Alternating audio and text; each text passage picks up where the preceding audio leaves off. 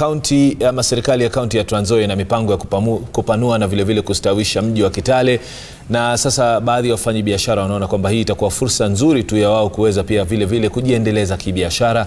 Lakini kwa mengi zaidi tuungane naye Collins Chitiabai, yuko katika kaunti ya Trans Nzoia mjini Kitale. Collins, nafikiri sasa hivi unaweza kutusikia kwa makini, tutuarifu zaidi kuhusiana na mipango hii ya kupanua mji wa Kitale. Eh, Nimrod eh, nawapata kwa njia iliyo sawa kabisa. Si sio peke yake serikali ya kaunti ya Trans Nzoia bali serikali ya kaunti ya Trans Nzoia ikishirikiana na serikali ya kitaifa imeweka mikakati ya kuhakikisha kwamba inapanua mji wa Kitale ili kuweza kumudu mahitaji ya wafanyabiashara katika eneo hili, kwani itakumbuka kwamba e, katika kipindi cha mwaka mmoja uliopita wafanyabiashara katika eneo hili wameongezeka marudufu, na nitaweza kuzungumza naye mwenyekiti wa wafanyabiashara katika kaunti ya Trans Nzoia anaitwa Martin Waliola. Aweze kutuambia je, hii mikakati ambao wanasema wamefurahishwa na serikali ya kaunti na serikali kuu ili kuhakikisha kwamba biashara inatekelezwa kwa njia bora, ni mikakati gani? Na pia wangependa serikali ya kaunti na serikali ya kitaifa kuweka mikakati gani ili kuhakikisha wana mudu mahitaji ya idadi kubwa ya wakazi wa kaunti ya Trans Nzoia ambao tayari wameanza kujiingiza katika maeneo ya biashara. Waliaula, yes. Ni mikakati gani imewekwa ili kuhakikisha kwamba tusimamia hapa? Asante. Uh, Nimrod, kwanza asante sana Citizen TV. Mimi kwa majina naitwa Martin WW Waliaula, mimi ndio mwenyekiti wa chama cha wafanyabiashara na viwanda.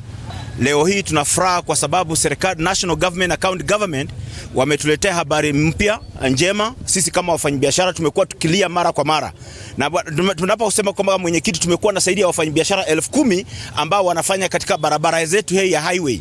Kwa hivyo leo tuko na KENHA, Kenya National Authority, uh, Highway Authority ambao tumeita kuna tuna kongamano ya wafanyabiashara hapa, watujulishe habari njema kuhusu ma, ma, upanuzi wa barabara yetu ya mji wa Kitale. Jambo la pili, tumepewa habari kwamba soko yetu sasa imepatikana, wanaanza kuchenzi wa barabara ya soko eh, ujenzi wa soko yetu hapa ta mjini Kitale ambao utaanza kuingiza wafanyabiashara zaidi ya elfu kumi watakuwa ndani hapo ya ndani ya sokoni. Kwa hivyo hiyo ni habari njema, na nitaka kusema kwamba tunafurahishwa na county government, bwana his excellency the governor vile amefanya kazi yake, national pres, eh, national government his excellency his the president Uhuru Kenyatta, na wanapokuwa katika devolution, kitu ambayo tunataka kuzungumzia, nataka kuinsist.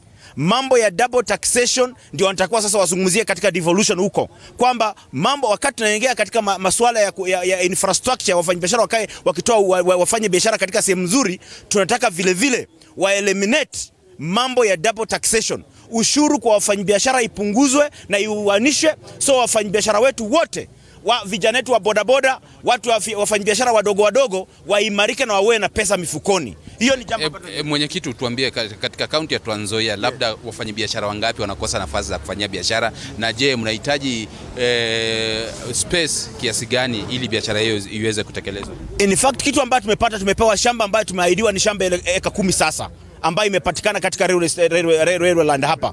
Leo nasikia next week kila kitu tamalizika na wamekuja kutinform kwa sababu na wafanyabiashara wetu ambao hawana nafasi ni zaidi ya elfu kumi Bwana Shitabai ambao kwa sasa hawana nafasi ya kufanyia kazi, lakini kwa sababu tumepata shamba eka kumi, hiyo hiyo nafasi itatoshelesha, na ukijenga na, na, na soko ya modern market kama ya India kama ya China ama ya Uganda, ile modern ya, ya gorofa, nafikiri itatoshea wafanyabiashara wetu wote, na kwa hiyo tunafurahia kwa sababu hatutakuwa na mfanyabiashara ambaye atakosa mahali pa kufanyia kazi.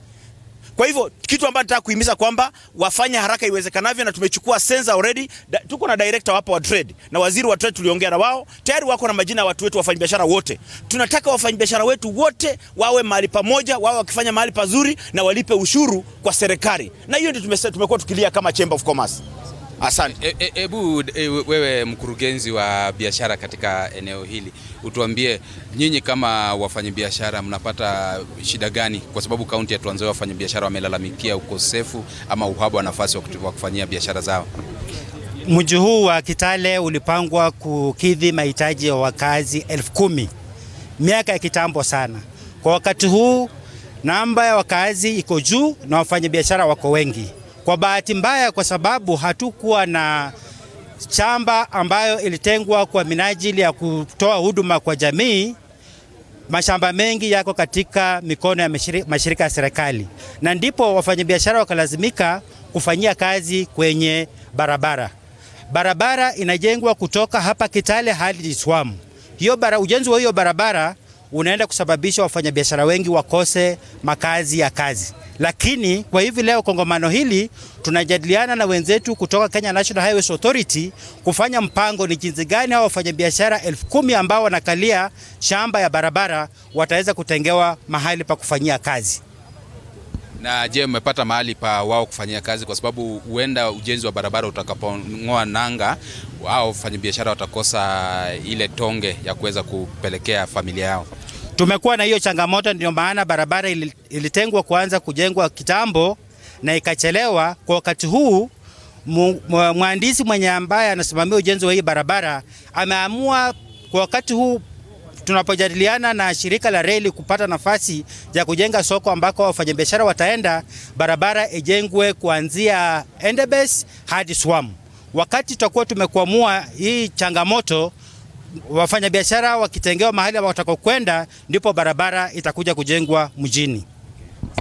Kama ulivyosikia Nimrod na Mwanahamisi pale studioni, ni wafanyabiashara pia wamefurahishwa na hatua ya serikali ya kaunti na serikali ya kitaifa kuanza kuwatafutia wafa- wafanyabiashara wa kaunti ya Trans Nzoia nafasi za kufanyia kazi. Itakumbuka kwamba idadi ya wafanyabiashara imeongezeka sio marudufu, kwa sababu mshirikishi wa nini wa, wa biashara katika eneo hili anasema kwamba mji wa Kitale miaka ya zamani ama miaka ya awali ilikuwa imetengewa watu elfu kumi lakini hadi kufikia sasa ni watu milioni moja na kati ya watu hao karibu robo ya watu hao ni wafanyabiashara huku wengine wao wakiwa wakulima. Hivyo basi kuna umuhimu mkubwa iwapo watapata nafasi za kutengewa kazi na kupanuliwa kwa mji wa Kitale. Kutoka kwangu hapa mjini Kitale, kaunti ya Trans Nzoia, mimi ni Collins Shitiabai